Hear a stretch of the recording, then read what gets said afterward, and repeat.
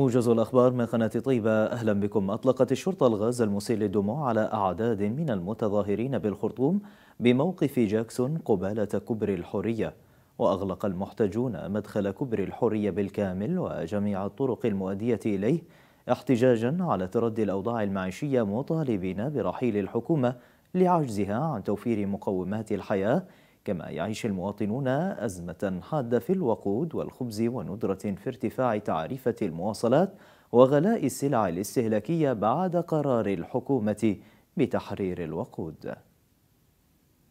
أمرت محكمة الطعون الإدارية بالخرطوم أمس الاثنين بوقف تنفيذ قرار النائب العام القاضي بإيقاف خمسة من وكلاء النيابة عن العمل بعد مطالبتهم بإقالته.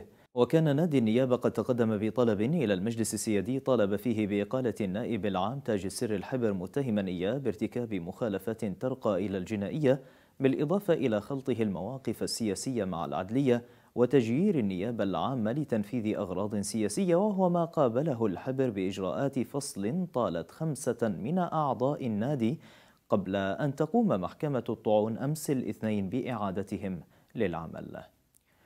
أعلن نادي النيابة العامة دخول وكلاء النيابات في عموم السودان في إضراب عن العمل ابتداء من اليوم الثلاثاء ولغاية الخميس.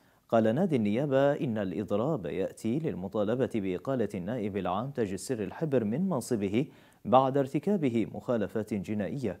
وأضاف النادي أن جميع الوكلاء في السودان أعلنوا استجابتهم للإضراب كما هنأ النادي وكلاء النيابة الذين تمت إعادتهم للعمل بعد أن رفضت محكمة الطعون قرار النائب العام بفصل وكلاء النيابة.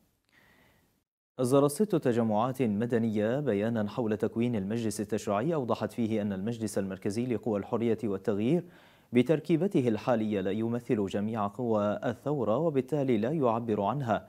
وقالت التجمعات في البيان الذي صدر عقب الاجتماع الذي عقدته بدار أساتذة جامعة الخرطوم إن المجلس المركزي بهذا الوصف غير مفوض للانفراد بتكوين المجلس التشريعي ولا مؤهل لتمثيل الثوار جميعهم. وأوضح البيان أن التعديلات التي تم إجراؤها على الوثيقة الدستورية بغرض تضمين اتفاقية سلام جوبا من شأنها خلق أزمات قد تدخل المرحلة الانتقالية في تعقيدات دستورية وقانونية لا داعي لها. نهاية الموجز شكرا لطيب المتابعة. إلى اللقاء.